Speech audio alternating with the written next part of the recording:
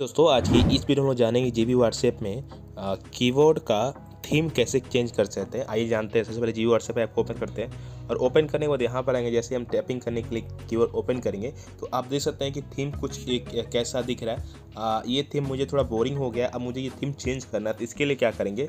तो भैया, ऐसी कोई फीचर नहीं दिए होते जो आपके थीम में, यानी जो आपका डिफ़ॉल्ट थीम होता है मोबाइल में, कि थीम चेंज कर लें। लेकिन आप एक चीज़ कर सकते हैं। इसके लिए आप प्ले स्टोर पर जाइए और आपको सर्च करना है स्टाइलिश कीवर्ड ठीक है? स्टाइलिश कीवर्ड आपको सर्च करके इस ऐप को इंस्टॉल करके ओपन करिएगा। ओपन करने के बाद आप जो परमिशन मांगे परमिशन अलाउ करने के बाद गो पे क्लिक करिएगा। गो पे क्लिक करने के बाद यहाँ पर आप स्टाइलिश कीवर्ड पे क्लिक करिएगा। देन आपको यहाँ पर देता है थीम का ऑप्शन ठीक है ना? थीम के ऑप्शन पे क्लिक करिएगा।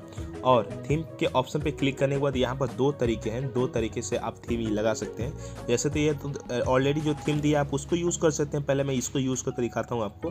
जो भी थीम आपको अच्छा लगे उसको थीम यूज़ कर लीजिए मैं ज़्यादा डार्क नहीं जाऊँगा। मैं यहाँ पर ये वाला ले लूँगा। ठीक है ना? स्टाइलिश कीवर्ड स्पेशल इस पर क्लिक कर दिया।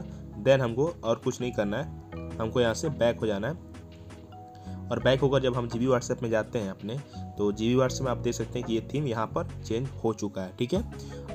ये चीज़ आप देख सकते हैं कि यहाँ पर कीवर्ड कुछ अलग चेंज लग रहा है, क्योंकि यहाँ पर कीवर्ड भी चेंज है। कीवर्ड भी यहाँ पर अलग देखने के यहाँ बस आप राइट लेफ़्ट करेंगे तो कीवर्ड चेंज हो जाएगा। देखिए यहाँ पर राइट लेफ़्ट करते हैं कीवर्ड आसानी से चेंज हो जाता है।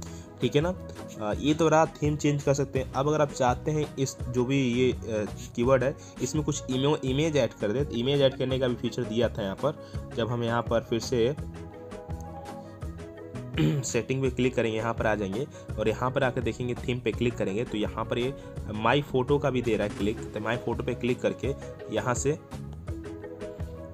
गैलरी से एक फ़ोटो ले सकते हैं आप, जो भी फ़ोटो लगाना चाहें। थीम में तो मैं अभी के लिए एक थीम अपना फ़ोटो ले लेता हूँ। ये रहा फ़ोटो हमारा, ठीक है? डन पे क्लिक किया। यहाँ से फ़ोटो आप डिसाइड कर सकते हैं कितना फ़ोन फ़ोटो दिखना चाहिए, कितना नहीं। आप यहाँ से क्रॉप कर सकते हैं। देन सही के निशान पे क्लिक करिएगा। और सही के निशान पे क्लिक करने के बाद यहाँ पर थीम लग चुका है। अब मैं अपने कीवर्ड में जाता हूँ, ठीक है ना? जी व्हाट्सएप में जाता हूँ सॉरी अब यहाँ पर देखिए, यहाँ पर कीवर्ड लगा हुआ दिख रहा है यहाँ पर, ठीक है? जो आप इसको यूज़ कर सकते हैं बहुत ही आसानी से। लेकिन मुझे उतना खास नहीं लग रहा है। मुझे थीम वाला ही अच्छा लग रहा है, क्योंकि वहाँ पे ज़्यादा, ये साफ़ कीवर्ड नहीं दिख रहा है। तो थीम वाला मुझे जो बेस्ट लग रहा था थीम वाला लगा लेता हूँ। फ़िलहाल मैं ये वाला ले लेता हूँ ब्लैक वाला अब।